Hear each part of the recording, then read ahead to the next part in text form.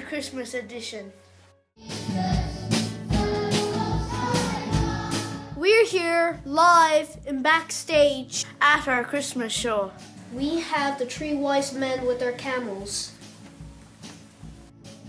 How was it being the wise men? Uh, good.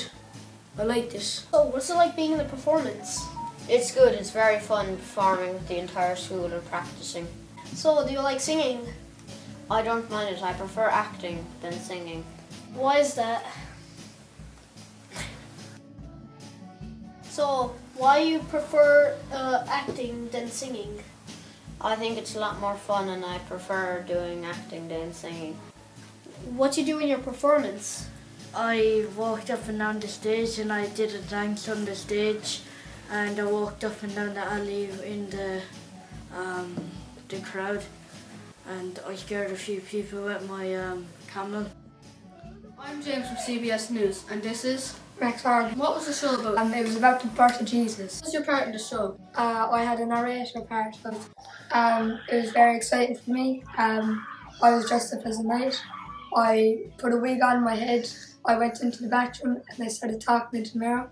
And my mother thought I was like a lunatic looking into the mirror. And then turns out when she saw me on the show, she was really pleased with me. It was a great show, Max. Thank you.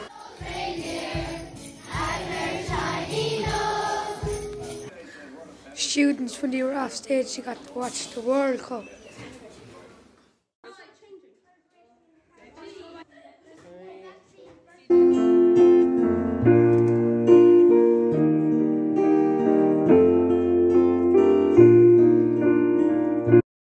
Welcome to CBS News. I'm here with Mary from uh, Nazareth. How was the the show? We got on great. We had a great time.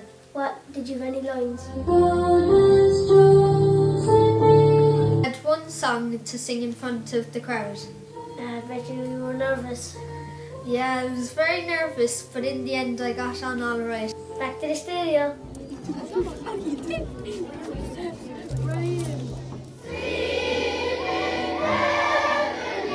Be